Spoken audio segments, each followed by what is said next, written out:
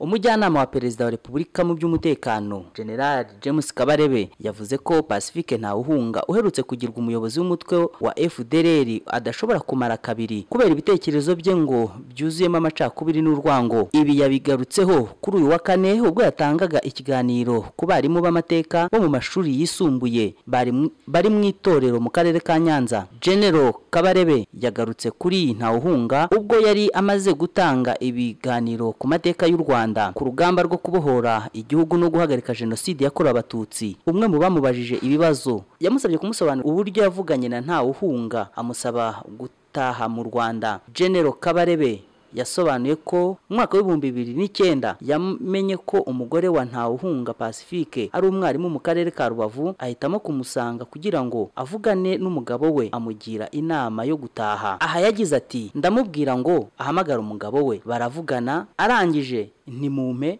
noneho. Ndamubwira nti dore igihugu aho kigana. Wowe uri umupilote. Jenoside yabaye uri mu bufaransa wiga ubupilote. Uraza ujya muri fdrr abandi bose baratashye. Ba rwarakabije paul baratashye.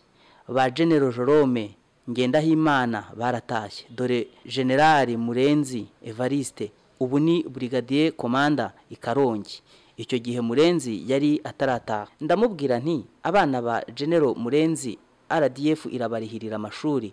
Kandi ni byo genero murenzi ari muri congo araturwanya ariko muri aturwanya ari muri fdrr abana be rdf yarabarihiriye amashuri. Umwana we w'umuhungu yanabonye buruse ya perezida. Ubu mu cyumweru gishize yabonye phd muri mikorobiyoloji ni inzobere mu byo kurwanya kanseri. Ntawuhunga turamubwira tuti dore abana ba murenzi turabigisha. N'abawe igihugu kiriho kirabigisha. Kuki udataha?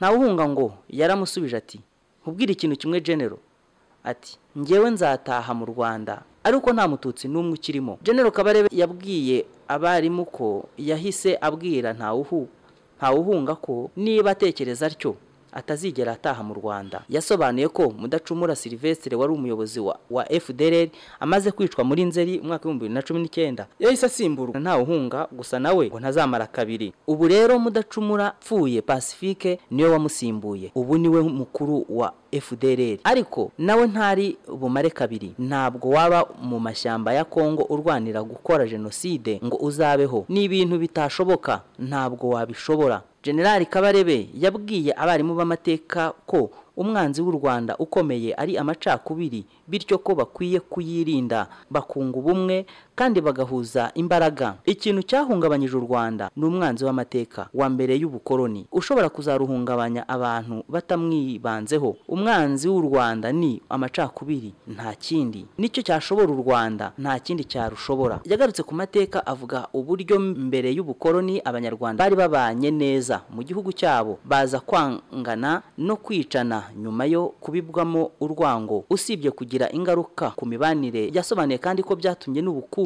na bene cyo budindira kuko batari bashyize hamwe. Ibyo ngo byatumye fpr inkotanyi yiyemeza kubohora igihugu no kugiha umurongo mwiza wo kunga ubumwe no guhuza imbaraga aho kuzitatanya. Nubwo bitari byoroshye byagezweho bitewe n'intego fpr inkotanyi yari ifite ndetse n'umuyobozi udasanzwe kagame paul wayiyoboye. Ati ntabwo nzi ko hari ikindi kitari fpr n'umuyobozi wayo wari kubishobora. Umuyobozi umwe gusa. Ariko ngewe mpamya ko iyo tugira undi utari nyakubahwa perezida paul kagame tutari kubishobora. Kutagira undi utari we ntitwari kubishobora. Oya. General kabarebe yavuze ko perezida kagame ari umuntu bamaranye imyaka mirongo itatu n'ine bakorana bya hafi. Yemeza ko ibitekerezo bye mu gukemura ibibazo ku neza y'abanyarwanda bitajya bihinduka. Ayo ngo ni amahirwe abanyarwanda bafite yo kumugira nk'umuyobozi mwiza udatezuka. Ati muri uru rugamba twagize amahirwe yo kubona umuntu ufite imyumvire ku rwego rw'ibitekerezo bihanitse cyane. Ushobora guhangana ikibazo icyo ari cyo cyose uko cyaba giteye kose n'uburemere bwacyo. Akakibonera igisubizo. Ayo ni amahirwe twagize. Abarimu b'amateka bari bitabiriye icyo kiganiro. Bagaragaje ko bakishimiye ndetse bakivanyemo impanuro irimo guharanira kunga ubumwe no guhuza imbaraga mu kwiyubakira igihugu no kugiteza imbere. Uwizeyimana oliva wo mu karere ka nyarugenge yagize ati icyo nungukiyemo ni uko tugomba kunga ubumwe kwirinda icyatuzanamo amacakubiri. Yadusobanuriye byinshi. Byatwubatse ku buryo numvise neza ibyo byo kunga ubumwe. Itorero ry'abarimu b'amateka ryateguwe ku bufatanye bwa minisiteri y'uburezi n'ikigo gishinzwe guteza imbere uburezi mu rwanda na komisiyo y'igihugu y'itorero kuri iyi nshuro ryitabiriwe n'abagera ku gihumbi na magana atandatu batorejwe mu karere ka nyanza mu kigo cy'amashuri cya college de christ roi. Komeza ukurikira ibiganiro by'umubavu tv online ukora subscribe wowe utarayikora. Nawe wayikoze kandi turagushimira. Komeza usharinga ibi biganiro ubikwirakwiza ahantu hatandukanye. Twongere tubifurize kugira ibihe byiza cyane no gukomeza kunogerwa na gahunda tubagezaho umunsi ku wundi. Turabakunda.